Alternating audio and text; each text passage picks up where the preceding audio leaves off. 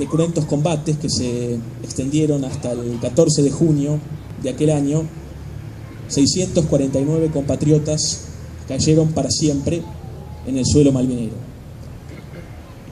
Más de 1048 resultaron heridos en acciones de batalla.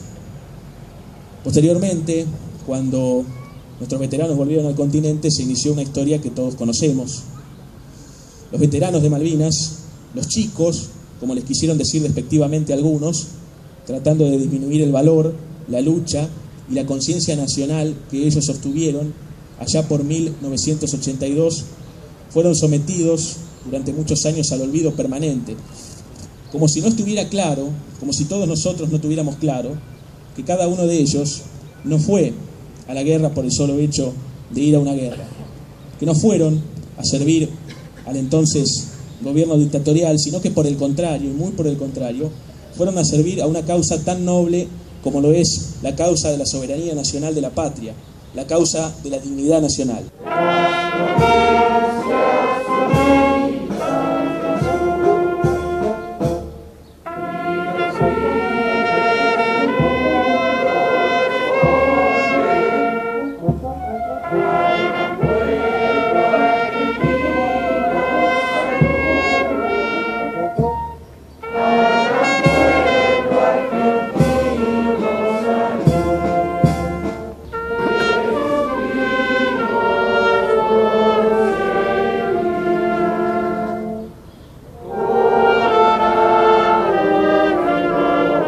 Del enemigo inglés.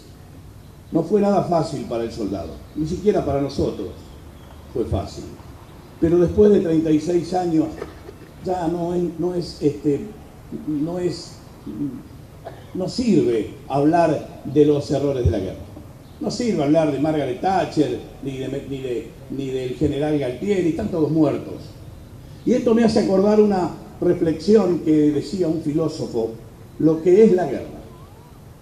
Piensen esto, la guerra es entre chicos que no se conocen entre sí, no se odian entre sí, pero se matan entre sí. Dirigidas por viejos viciosos que se conocen entre sí, que se odian, pero no se matan entre sí. Qué cosa rara es la guerra. Yo creo que después de 36 años lo que hoy necesita el veterano de guerra es el reconocimiento. Esa brillante idea del intendente de poner una placa donde figuramos es realmente estupendo. Yo lo cuento acá en público, pero lo siento en secreto. Verme ahí en el mármol, digo, la pucha, eso es lo que hace falta. Mirar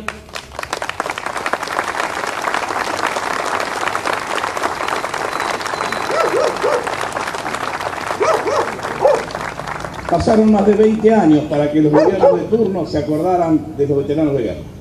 Recién ahora tenemos un hospital donde podemos atendernos. Recién ahora tenemos una obra social que en todo el país atiende a un veterano. Yo creo que después de 36 años el soldado argentino tiene hambre de reconocimiento. ¿Y cómo se arregla esto con el apetito de reconocimiento? Es pararlo al soldado y decirle, fuiste a Malvinas, gracias. Gracias por defender.